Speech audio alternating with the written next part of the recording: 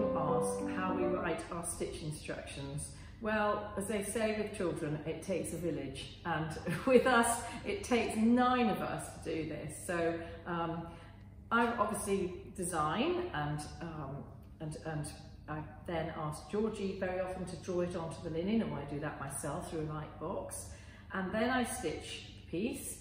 And I have to say, I do take forever because I really want to get this right the first time. Um, although I have so enjoyed stitching these, I have done them twice and also the mirror frame as well. So, um, and of course I like to test it. So I do like to stitch everything twice, but if I get it so that I'm not pleased with it the first time, I can't let it rest.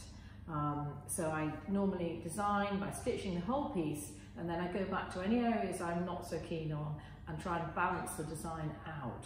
And the idea behind my designs is that when the wind's blowing, these trees are moving, these trees of life are moving, and I've just taken a snapshot on the way past. So it should look like it was moving before I stitched it, and it's about to move off. So these little birds and that fox should just be about to run away.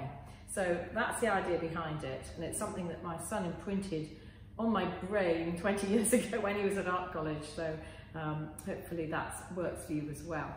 So then we, um, then I take photographs all the way through stitching when I test it the second time and I take step-by-step -step pictures for every single thing I do, which I then send to Georgie, Georgina, our in-house artist, and then she converts them into stitch instructions, which really are based on the printed linen. So I don't know where that one's gone now, I'll just show it to you. I should, show you any really, but you can see that that corresponds to the lines that are printed on the linen. So the idea is that we show you exactly from the very first stitch, we show you whereabouts on the piece you are, and then from the very first stitch, you're shown how to go step by step across his inner ear, then his outer ear, always working the background to the foreground.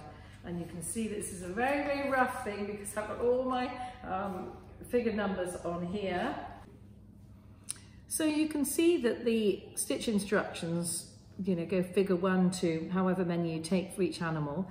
And some of these, uh, these pages, which will end up as A4 size, so they'll end up slightly smaller.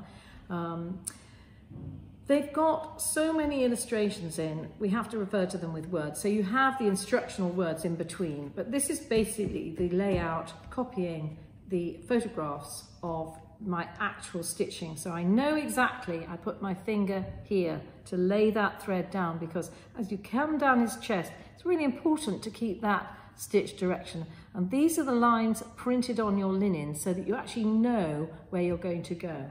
I'm just going to get that linen. So that the printing on the linen is actually the same as the printing on here. So when you actually see where you've already stitched, you'll know that that refers to this part here. So when you actually have it on the frame, it relates very easily to this piece here. The illustrations are the way up that I think you should be stitching it. So most of this piece actually is just facing you so that you're going to be looking at the image as you do it. So um, and we'll take you to the simplest one first and then progress through the animals. So you actually don't work from the top to the bottom necessarily unless you particularly want to. And it's just a skill set that you build up. So hopefully everybody will feel comfortable when they get to the more complicated peacock and peahen.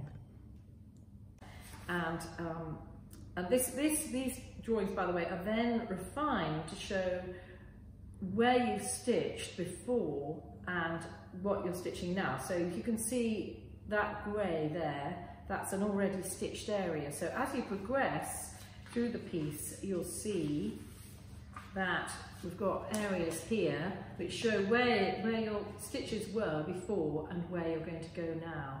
So we're now on um, figure 60 and we've only got to his belly. So it takes, takes forever, but um, go back to his head for the last little bit and there's the Holbein stitch along here. And that's 81 figures and we're still going strong. So you can see that that is step by step. Now, when we have reached this stage, then Georgie goes back through everything, colouring it in. So then it's all hand coloured and it, I have to say it looks amazing and they're coloured to the specific colours of each design. So on this design, um, you've already had a practice linen in general colours to work out the stitches and then the instructions show you where to place those stitches on this particular shape. So long and short stitch onto a hip of a, of a near hind leg worked and this is how to lay the thread to keep the direction of the stitches and to keep it flowing.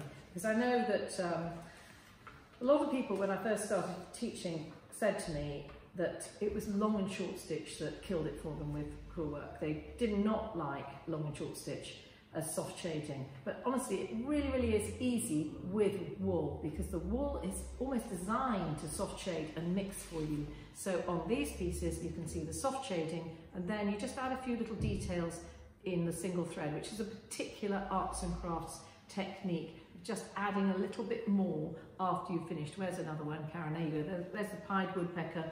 And um, so on this one, you can see I've worked uh, this, this gingery colour on one side and the green on the other, but then added little strokes of the other browns within that, or rather over the top of it. So you sort of layer up with the effect. I'll find a better one. Here you go. It looks really complicated when you actually look at it, but when you actually work it and you just put in these two rather clumsy colours and then come back in, you can actually cover any mistakes with the little touches of highlighting colour. So that little gingery bit here, these little gingery bits there. I tend to go for the slightly brighter um, colours putting them in, but in the arts and crafts period, they would have put in some grey as well into the branches. Um, anything that you had left over as you were working each leaf can just go into the next door area. So on the technique for these branches is actually to work the background colour. So this is uh, 244 in the dark green here. And then you come back in and add little strokes of uh, the brown over any errors that you've done. And you can see this paler, uh, beautiful yellow coming along here that I had left over from working this leaf. I just carried it across the back and just put in some little strokes of yellow dotting around over any mistakes that I might have made. And also I didn't know how to end this little bit, so I've just added a spider's web onto the end of him. And um, that's, I occasionally do that, or I end up with a curl or a little detail of stem stitch over the top of anything. So with crewel work, you don't really, um, you don't really pull anything out. You just usually go over the top with another colour. So for example, on this one, I just went back in. I didn't really like the solidity of green along the edge, so I added the yellow over the top, and that just sort of complemented the odd leaf here. So I hope that shows you what we're up to now. You can see I'm becoming unstuck here, Karen. um, but these are now um, at the next stage, and we're refining everything, um, testing everything, Harriet in Memphis in Tennessee is testing, I'm testing, my friend Tina up the road's testing, Rowan's making more of the cushions, um, we're having them, them framed as well so you can see how they work on a wall, there's lots of little frames, and of course the big mirror frame, um, I'm, I'm nearly finished my second one, just double, double checking everything. So I hope that you're all going to really enjoy those and we'll have a full video of how to do it as well as the practice linen.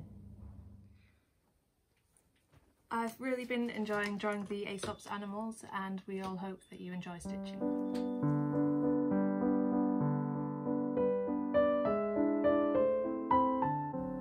So at this stage I've obviously stitched the piece, backed it onto some wood, so I'm just going to show you the back and stitched it across and very roughly made this first design but we're going to back it onto a mirror next.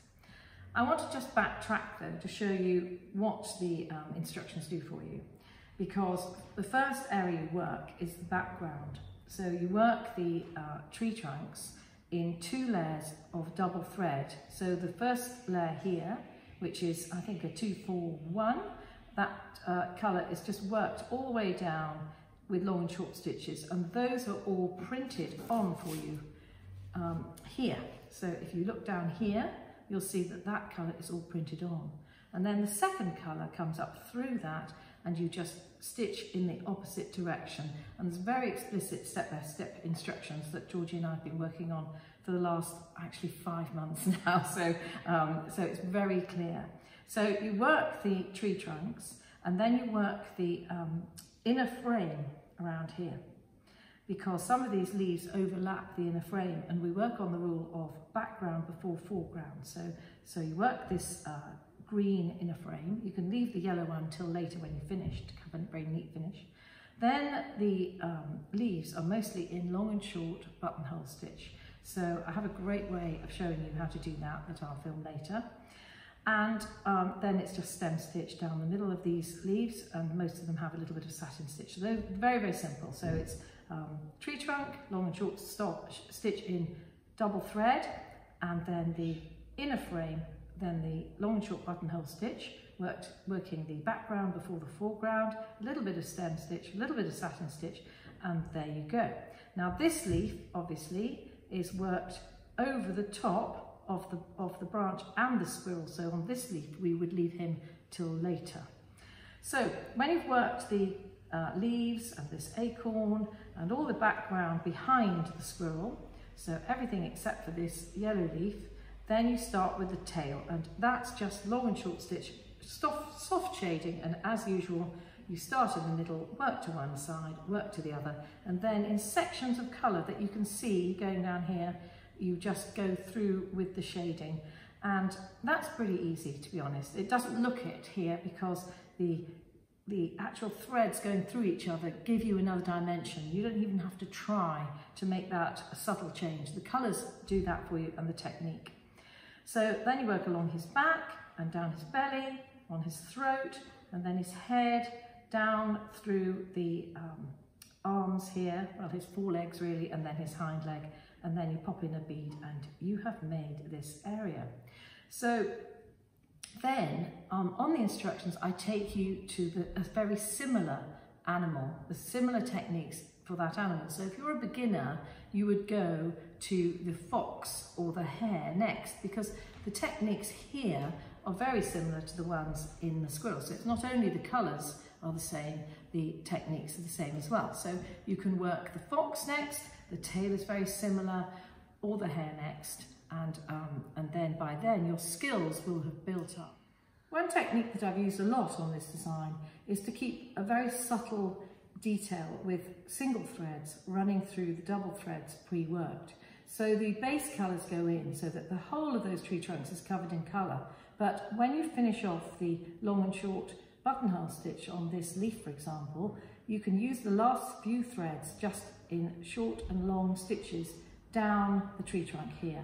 So again, with this, even this paler uh, yellow, you can just bring it through and you can travel up the back and use it in the top corners um, and the darker green as well. I've used that from this leaf.